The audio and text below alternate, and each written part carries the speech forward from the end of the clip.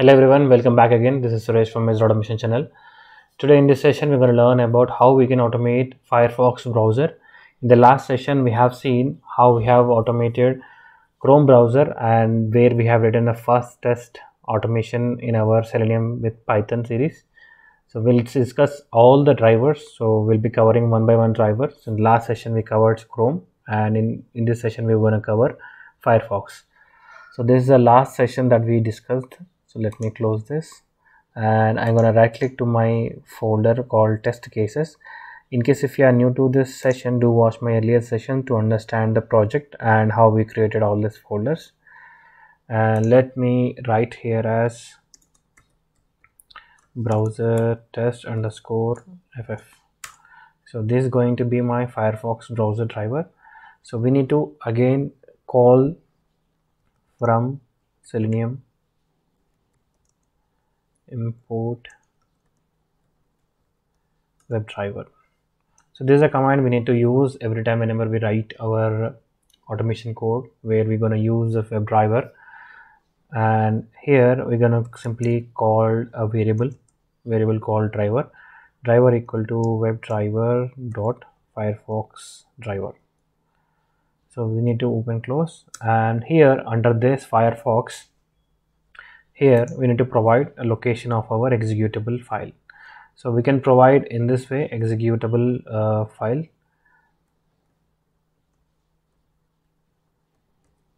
So this is a one way of providing executable path and also we can directly provide the executable path. So both ways we can use. So to download firefox driver so i have already uh, done this in the earlier session but i will do one more time. So let me open any browser so here type for uh, firefox driver for selenium download. Yeah this is the website. And you need to go to the github location here. And this is the version that we have. Uh, so for firefox driver we need to use the gecko driver. So this is a gecko driver version. It's a 0.31.0 and if you scroll down to the bottom you will see this uh, kind of files here for linux mac and windows so based on your uh, os versions you can use 64 bit windows 32 bit mac linux all these things you can use. So i already did it and it's there in my browsers folder. So here it, i have this all this location of driver files. So i'm going to simply right click to my gecko driver and go to this absolute path and copy and i will put that path here. And let me provide double forward slashes as we are in a Windows operating system, right? So this is one more slash, this is one more, and we need one more.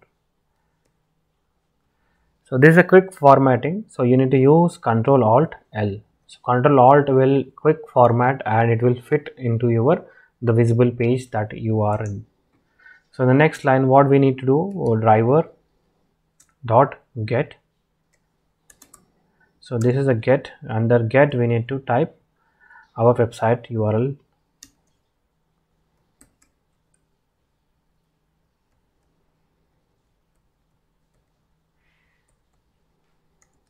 So this is a website details that we're gonna, gonna provide.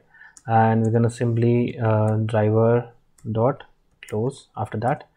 And in between we can do uh, driver dot maximize window we can use. So this will maximize my window. So the same thing we did in the last session also. Let me quickly save and I click and run.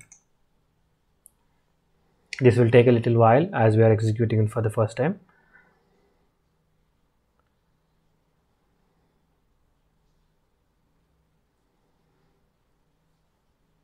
So it's still running. It has opened Firefox browser now. It will maximize this window